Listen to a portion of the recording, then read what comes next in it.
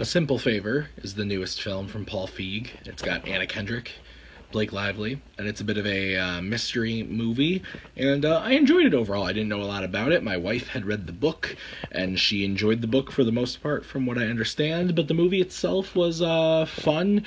I liked Anna Kendrick a lot in it. I liked the guy from Crazy Rich Asians, Henry something. He's also very good in the movie. Um, I really like him. Want to see more of him. Good time overall.